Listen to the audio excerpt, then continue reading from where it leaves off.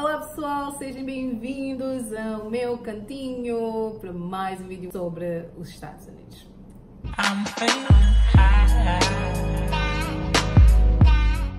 Olá pessoal, sejam bem-vindos ao meu canal. Hoje eu gostaria de falar um pouquinho sobre American Dream, o sonho americano que todos nós queremos alcançar quando não estamos no solo americano. Ok, so pessoal,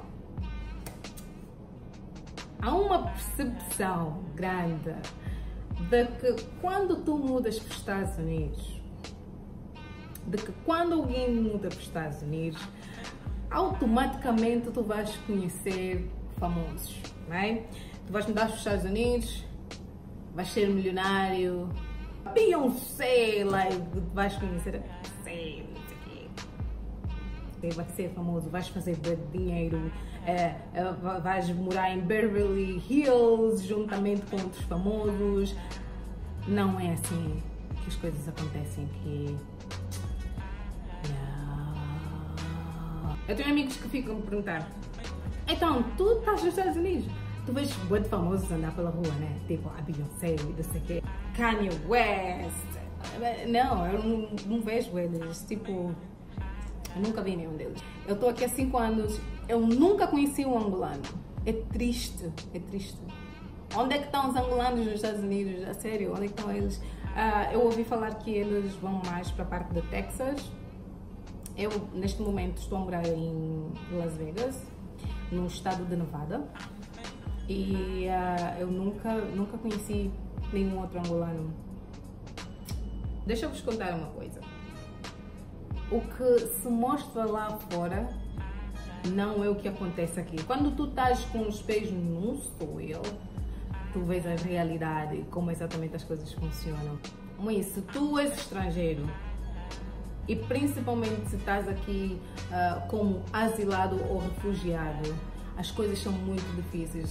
Tu como, quando vens aqui como refugiado, tu ainda tens alguma ajuda do governo, uh, uh, o que é somente garantido para ti durante um determinado tempo. Tipo, se eu não me engano, são três ou seis meses, mas eu vou fazer uma melhor pesquisa nisso e fazer um outro vídeo com relação a isso. Durante esses cinco anos, eu tive que mudar de casa para casa de bairro para bairro.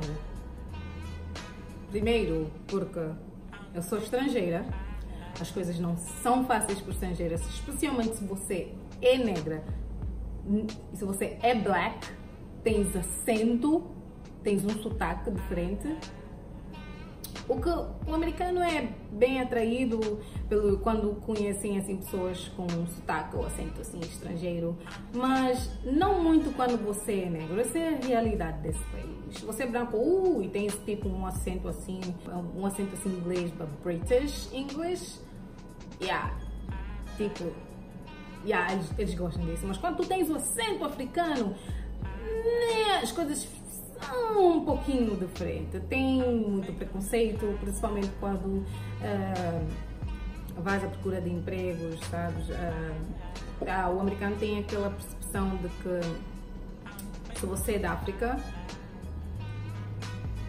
você não sabe muita coisa, você é burro, uh, tu não és educado. Deixa-vos contar um pouquinho como é ser africano nos Estados Unidos. Ok. Em primeiro lugar, Estados Unidos, não é?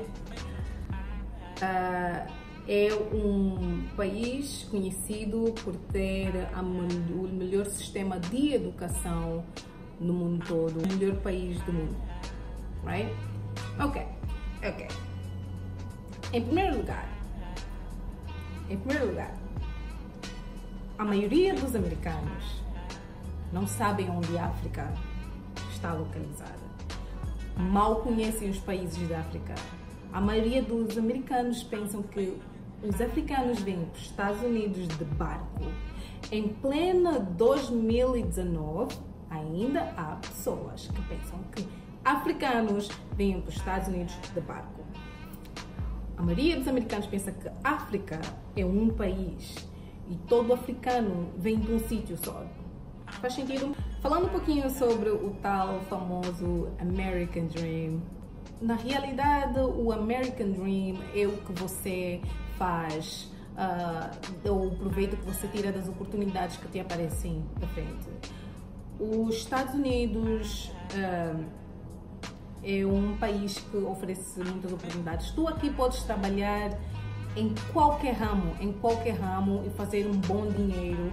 Se você sabe como usar o dinheiro que você ganha, como poupar, tu vais longe, tu consegues ter uma vida digna, ter uma casa para morar, conseguir pagar uh, os teus impostos, uh, eletricidade, água, comida, tu consegues ter uma vida digna.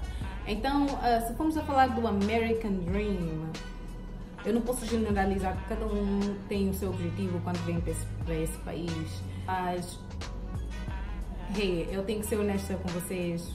O American Dream não é o que nos é apresentado na televisão lá fora. As coisas são muito difíceis, difíceis, especialmente agora com este presidente que a gente tem no escritório. Mais uma vez, depende de como você pega ou usa as oportunidades que te, são apresentadas aqui. E se você uh, é uma pessoa concentrada, vem para aqui uh, para trabalhar, poupar o teu dinheiro, tu vais ter uma vida digna. Porque aqui há oportunidades. O americano não tem aquela cultura de que a gente tem lá na banda, tipo o vizinho, né, é considerado tio ou tia, temos aquela de ah, o vizinho ajuda o outro, é uma comunidade.